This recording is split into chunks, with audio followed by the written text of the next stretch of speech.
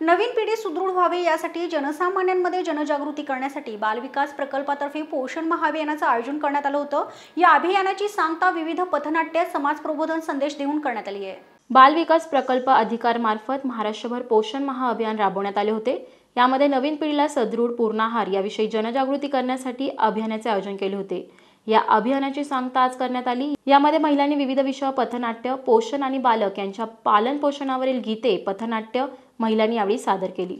आणि हा जो कार्यक्रम ठेवलेला आहे तर एक सप्टेंबर ते तीस सप्टेंबर हा पोषण माह म्हणून आपल्या सरकारतर्फे साजरा करण्यात येतो आहे तर त्या पोषण महाचे सांगता रॅली असं थोडक्यात म्हणता येईल. आम्ही महिनाभर वेगवेगळ्या प्रकारचे कार्यक्रम घेतलेले आहेत पोषणाच्या निमित्ताने. ज्याच्यामध्ये की दूध भराई डोहाळे जेवण म्हणजे त्याच्यानंतर वेगवेगळ्या ठिकाणी पथनाट्य घेणे लोकांमध्ये जाणीव जागृती करणे स्वच्छता त्याच्यानंतर आरोग्य तपासण्या सुदृढ बालक स्पर्धा पाककला स्पर्धा अशा प्रकारच्या आम्ही स्पर्धा घेऊन लोकांना बक्षिसं वाटप केलेली. ह्याच्यामध्ये आमच्याबरोबर बरेच एन जी ओ पण सहभागी झाले होते.